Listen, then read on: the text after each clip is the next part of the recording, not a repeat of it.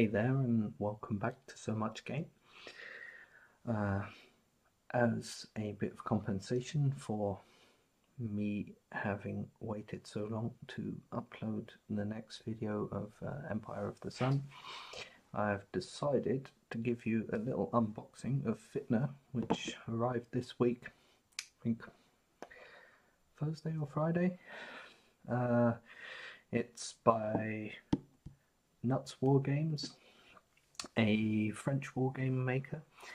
Um, I've played one of their games before, uh, which I believe is called Urban Operations, which is a tactical game uh, in modern uh, urban tactical conflicts. Um, yeah, this one uh, I looked at it, I backed it when they first uh, first mentioned it because I mean it looked looked fun for me. Uh, it's modern, uh, a modern strategic card-driven game set in the Middle East. Um, modern theatres is something that interests me anyway, so I thought I would definitely give it a go. And you know, it's a French publisher, so fairly local to me. Don't get too many publishers this side of uh, the Atlantic. That might be actually something I could do with the channel as well. Have a look at uh, small games, do maybe a small series of uh, different games from European publishers like Fitna from Nuts War Games, uh, thinking Hexasim as well, uh, Vento Nuovo with, um, I've got Stalingrad, the block war game, that might be a fun one to do as well, and uh, obviously uh, the thin red line with uh, iron under an iron sky. That could be that. I'll have to definitely find some table space for though, because that's uh, that's a big challenging one. Anyway, without further ado, fitna, which apparently means schism in uh, in Arabic, we'll open it up. So as you can see, I haven't opened it at all. Cards are still there. Oh, let me go get my knife. I'll try it like this.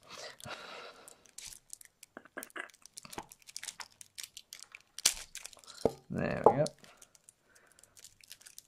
Don't try that at home.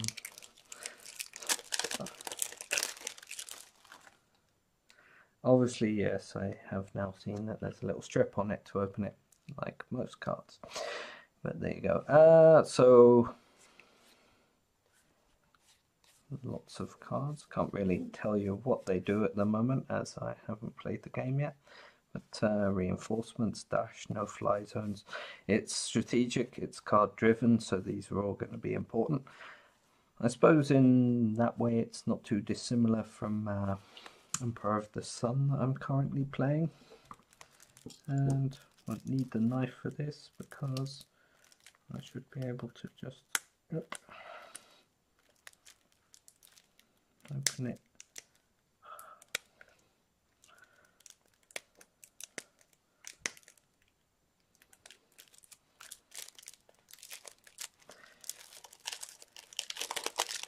like that. Man, I'm having having a great day. yep, more having leadership combat engineers, truck bombing, mobile artillery, Katyushas. Oh well, glad to see that they still get around. Uh, close air supports, diversionary attacks, IEDs, chemical weapons. Yeah. Uh,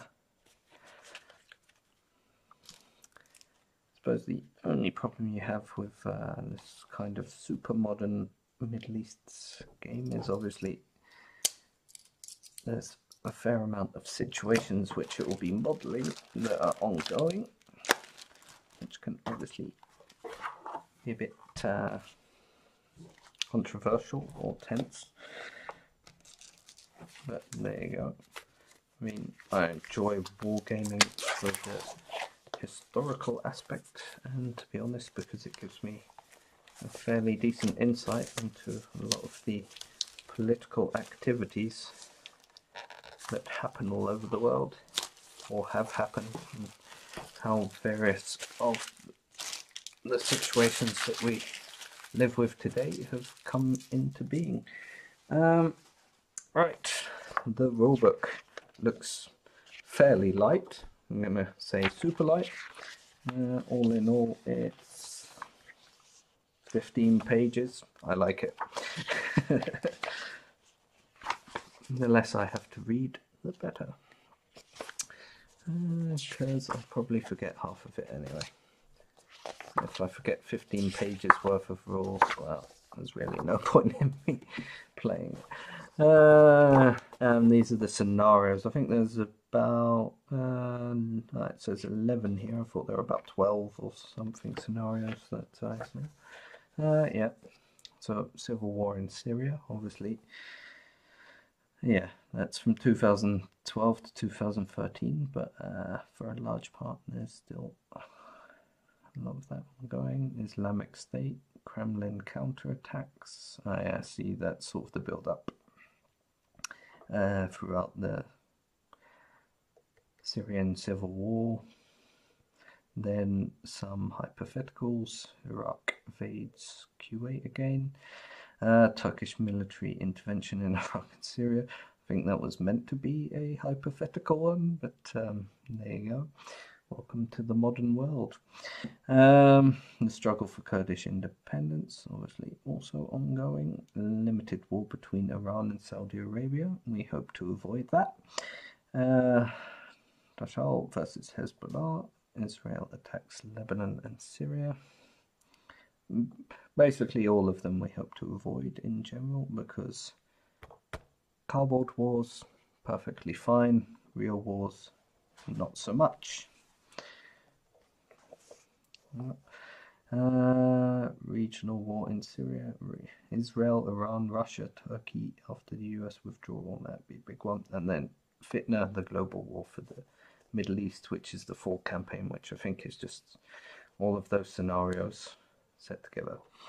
And uh, it does appear to also have special rules for four players, so it can be played two player, I imagine. Now let's have a look at the chits. They look quite nice, don't they? I like the colours. They're not too like overly exuberant. Uh, nice little details here and there. See if uh, my camera will autofocus mm, or not. Or maybe do it one at a time. Start this side. I'm already pushing them out. Oh, they're, they're pretty much tap outable, which is also good. There'll be no uh, no messes made in removing them. So, uh, tank unit. Find out what that is in the rules, but I mean, who knows? And yeah, two steps. Uh, so, and then there's some uh, effects markers, isolated, no retreat, special forces, ceasefires, turn, IEDs. Uh, that appears to be fortifications of some kind, well, sandbag fortifications not of some kind, of the clearly obvious sandbag kind. Uh, move IS, because hell with them. Yep, there we go. Oh. And these are more yeah, Iraqi units, Russian units, Syrian, uh, Hezbollah, Shia, Sunni, uh, everything you need for a Middle Eastern conflict. And then wow, they're really, really loose. Which in general wouldn't be a problem unless you were doing an unboxing video. Uh, uh, some UK units in there, uh, 16 there, or so yeah, they would be there. Uh, they'll probably be the first lot to arrive, and then obviously US units, French units, and uh, obviously French company, so they were definitely going to get a go, and you know the Middle East.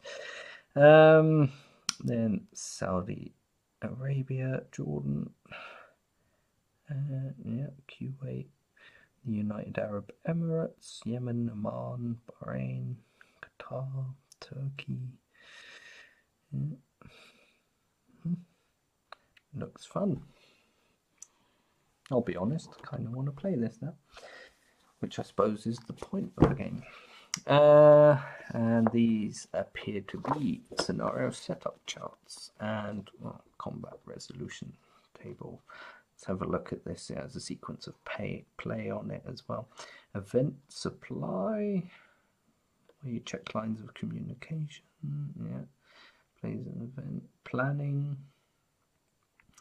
How many cards to acquire operational points? Hmm, interesting. Movement uh, offensive, strategic movement, adjust cards for remaining players. And then let's have a look at the combat resolution chart. A lot of ARs, which is repulsed, attacker repulsed. Mm -hmm. Exchange, we all know that one. Defender retreats, that's the one I wanted to get in Empire the Sun tonight, but didn't. All defender surrenders. Yep. Column shifts and then an international tension table. Hmm. I suppose that increases the level of international tension in general. And these are also the scenario cards. Uh, each uh, scenario card has combat resolution and sequence of play on the back. So yeah, uh, each card is for a specific. It's not a scenario card, but actually um, for a specific country. So specific side, in this case Israel. Those are, I imagine, the scenarios they participate in. Okay. Now we're cooking. Yeah. And it has their victory conditions on it. So those are handouts for uh, for the sides, and this is the actual map.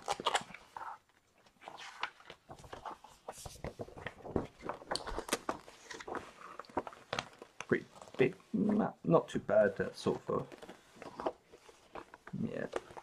big. And there's another fold at the bottom that you can't see yet. But, uh, let's see if we can try and guide it across the table so that you can uh, get luck. Mm. The woo was optional, but I thought I'd go with it. All the way down to Q8.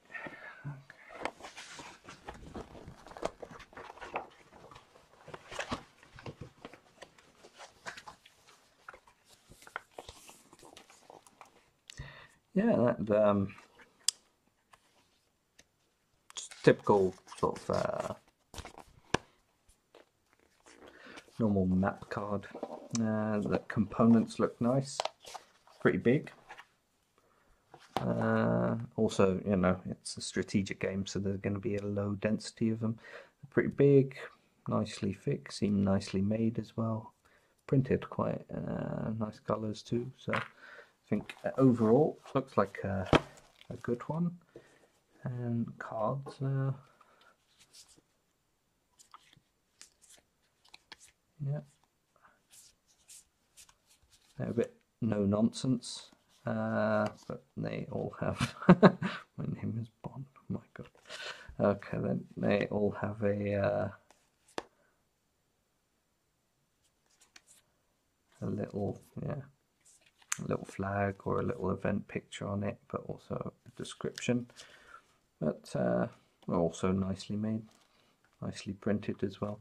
Uh, it says at the back what they are: assets, events, Joker cards. I mean, Bond could just as easily be Joker. and events, yeah. But uh, all in all, looks like it will be fun. And obviously, the uh, highly required dice for your endless dice collection of dice from games that you can't remember where they came from. Uh, have a quick run through of the rules.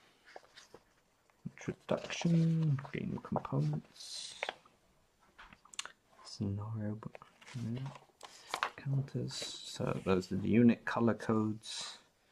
Useful to know. Ah, we'll have a look. So the first number is attack, second number is defense, and the third number is capacity to exploit a breakthrough or air mobile movement or the movement allowed.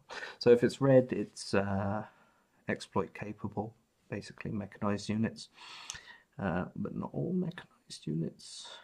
Um, and yeah, that's that third number is the movement movement points. Okay. Stacking three units in a single space, controlled spaces. That's ownership. Supply, sequence of play. And everything moves. Ah, that's the international tension. Control coup d'etats. Fun. And how to win and so forth and the designer's notes.